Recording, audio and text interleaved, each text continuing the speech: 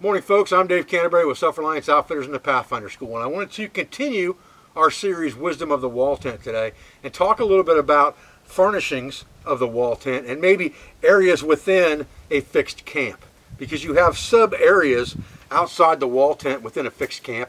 You have areas for doing woodworking, you have areas for preparing food, and then you have other areas that may be hygiene areas where you take care of your morning ritual of washing and shaving and things like that. So we'll talk about those areas as well. But for now, let's talk about the difference between a fixed camp or a stationary camp and a moving nomadic traveling camp. If you have a fixed camp, you almost have to look at that as if it is a home, just like your house, because you're staying there for a indeterminate amount of time until you decide to leave for the most part. You are carrying this stuff in by conveyance, whether that be an ATV, a truck, a trailer, horses, sleds, canoes, whatever the case is, you have a conveyance way of carrying this larger amount of equipment, just as if you were moving the contents of your home from one location to another, because this now becomes your home. And I think that's something that people miss a lot when you talk about different types of encampments and you show somebody something like this wall tent and they're like, oh yeah, I have a good time carrying all that into the woods. You're only going to carry it once for this camp location in a conveyance and you're going to set it up once.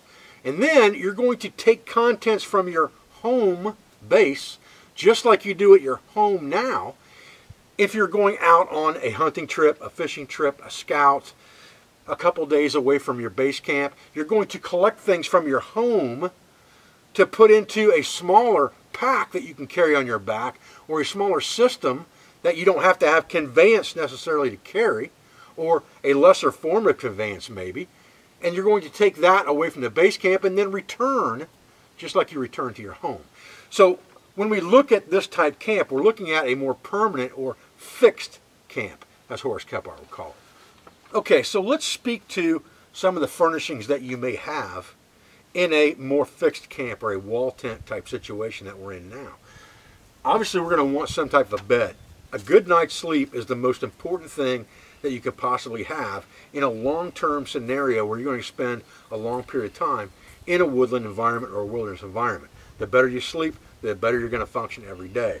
So we have just a white canvas and wood cot, very, very traditional for any time period between probably the Civil War all the way up into the 1940s, 1950s.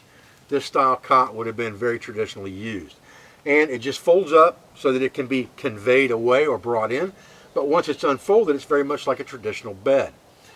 I've got a couple layers of a wool blanket shroud on here and just a piece of like rag carpet on top of it to battle convection from underneath so that I stay warm at night. And then I've got a couple wool blankets over here that I use to sleep with. And Horace Kephart said that two thinner wool blankets is always better than one heavy wool blanket. Probably the reason for that is being able to layer those things and trap that dead airspace for warmth. But 100% wool and no compromise is really what you want if you're going to go to that extent with your camping and you're going to go with only blankets and not sleeping bags. You want 100% wool without a doubt. Now, the other thing to remember is that all of the items within this wall tent are these are our items that we would have in our home. So this is what we're going to take from to pick and choose if we're going to go out for a couple days away from camp. So the same wool blankets that we're using here, possibly the same ground pad that we're using here, we may roll into a bedroll to take with us when we go out on an overnight hunt or scout.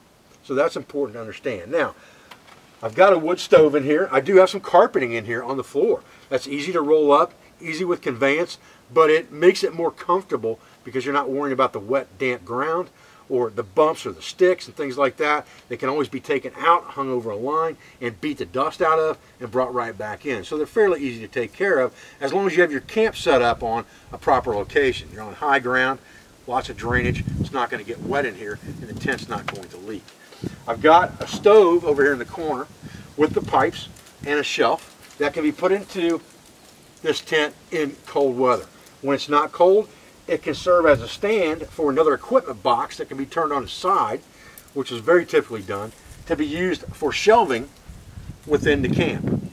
So in this box, I've got just a few accoutrements on top for hygiene that can be carried outside to a hygiene station or used early in the morning here within the wall tent. And then I've just got a couple things that I readily get to every day. My candle that I use at night in here, an extra candle, an extra folding candle lantern that I may take with me when I go somewhere because I have one set up inside the tent as well. My fire box that is my large fire box that contains lots of things that we'll go over in a future video, but matches, flint and steel setup, uh, lots of tinder materials for lighting the stove, fat wood, spunks, all those types of things are inside that box to be utilized within this tent. But again, some of those items may be taken out of there to be put into a kit to take out away from camp. And then I've got a picture in here, just a morale booster, a picture of my wife. That would have been very typical of a camp like that. And then I've got another box here turned on its side. Again, another equipment box. This one happens to be for the cookware and the cook setup. And it holds the Dutch oven and things like that that I carried in with me. But now it is just a shelf for different types of supplies and my eating and cooking utensils. So they're on that box. We have the carpeting. I have one folding chair right here. That works out really well. And then up here, I have a shelf I'm going to show you. So up in the top up here, we have just a wooden shelf that's on rope. And this wooden shelf is for nothing more than holding firearms. And I've got 122 and one single shot 12 gauge on that shelf, but it keeps them up, out of the way. They're in a waxed canvas sleeve so that nothing's going to happen to them and they're well protected. And I can put them up in that shelf and not worry about them until I need them for a hunt. So that's a good up and out of the way place to keep those firearms nice and safe. Okay, so this crate here is basically the camp box or the camp toolbox. And it contains everything it would take to set up and repair and maintain the camp other than cookware, as well as anything that you would need to use to repair existing pieces of equipment or fabricate new things from the landscape. That's the importance of this box. So it's your construction set basically for anything that you want to build, make, or repair. You should have something to be able to do that in this box. And we'll talk about the contents of this box in another video because that's really a video all by itself is just the contents of the camp toolbox. So that really kind of covers everything that's inside the wall tent. Now there are things outside the wall tent that have either been manufactured or they have come from these box and crates that were carried in, but they're set up or stationed in different areas of the fixed camp. So let's talk about those real quick. First thing I've got set up over here is I've got another camp setup, and this is basically the guest bedroom, if that's the way you want to look at it. This is some place where you could laze around during the day if you wanted to when it was too hot inside the wall tent. I've got a hammock set up here. I've got an 8x8 tarp set up here. That's pretty much all this is. And this would be part of the accoutrements you would pack up if you're going out away from your base camp. There's your hammock, there's your tarp, throw them in your Trapper Nelson or your backpack of choice, off you go. Okay, the cook area is very simple. We have a tripod made from wood with a tripod chain holding it on. We have a trammel chain attached to that that we can raise and lower our Dutch oven over the fire as needed. We have a number 10 Dutch oven. Along with that Dutch oven we have a steel skillet, 8 inch, a coffee pot, and a set of fire irons. And all of this stuff can be packed into the one box for your cook gear. Now, the only other thing that I have here is this stand and it fits into the same box. And what it's used for it can be used for anything really that you want to cook on. You could put a pan on there if you wanted to. You could put a coffee pot on there if you wanted to.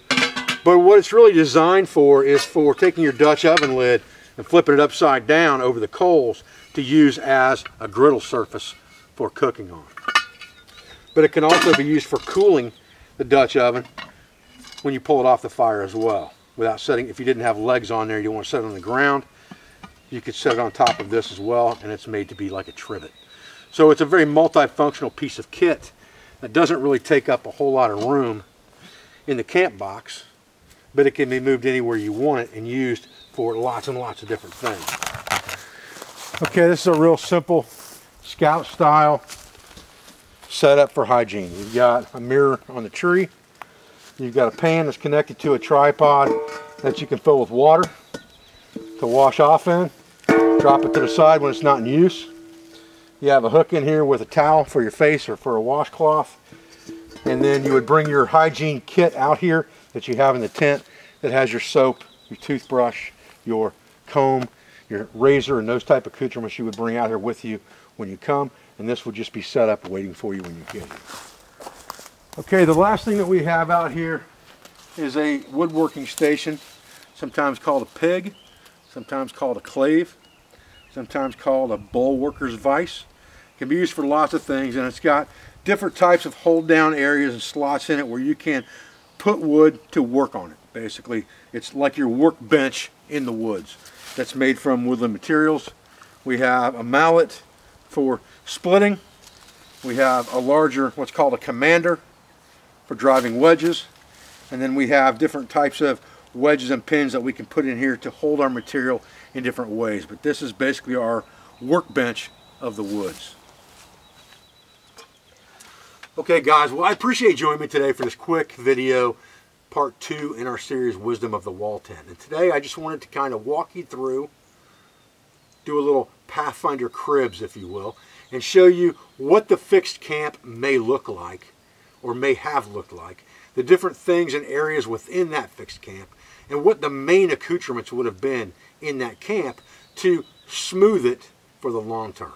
And we'll talk a little bit more individually about some of these different boxes and their contents and the uses of some of these items as we go. But I wanted to introduce you to the fixed camp overall first so that when we're in different areas, you'll already have the layout and understand exactly where we're at and what we're doing. I'm Dave Canterbury with Self-Reliance Outfitters and the Pathfinder School. I appreciate you guys joining for this video today. I thank you for everything you do for our school, for our family, for our business, for all of our sponsors, instructors, affiliates, and friends, and I look forward to another video in the Wisdom of the Wall Tent series as soon as I can. Thanks, guys.